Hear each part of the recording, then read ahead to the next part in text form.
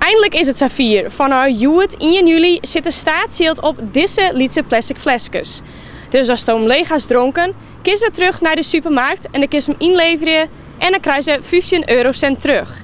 En dit is een grut punt, want het had heel wat jaren dwarren. Daarnaast binnen ze heel vaak in de natuur te vinden. In Nederland komen er 35 tot 75 miljoen plastic flesjes op straat, in de berm en grachten, nou ja, water zoals hier terecht. Elk jaar weer 35 miljoen. En met zoiets als statiegeld op kleine plastic flesjes ehm, wordt dat voorkomen. Die politieke statiegelddiscussie zat helemaal vast. En op een goed moment ben ik op een surfboard gemaakt van plastic flesjes van Scheveningen naar Engeland gekitesurfd. Daarmee een petitie begonnen, 55.000 handtekeningen opgehaald. Daarmee naar de Tweede Kamer gegaan en de Kamerleden verrast met een motie. En die motie is toen aangenomen, de plastic soepsurfer motie.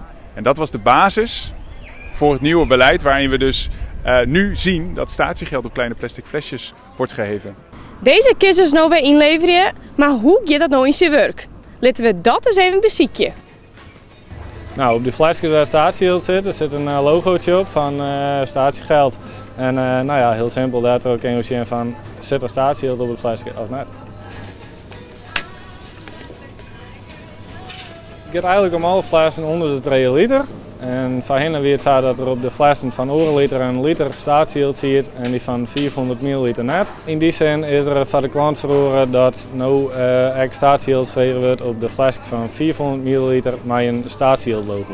Stel dat ik nou een, uh, een flesje heb waar dat etiketje er net meer op zit, hoe uh, zit het dan met het plastic flesje? Het uh, flesje waar geen etiket op zit, die, uh, nou, die kunnen we helaas niet innemen, want we weten net dat het een statiehildfles is of, uh, of net, dus dat de klant ervan betalen had of net. Dus nou, dat is eigenlijk heel simpel, we kunnen helaas net innemen wat het etiket mist. Want het, het apparaat dat scant de streepjescode en daar vervolgens daar herkent er gewoon of het een statiehildfles is of net. Ik nou een flesje mij een statieheld logo en zonder. Dus dat goed is, dan herkent het apparaat het ene flesje wel en de oren net. Uh, ja, dat is helemaal correct. Dan gaan het even testen.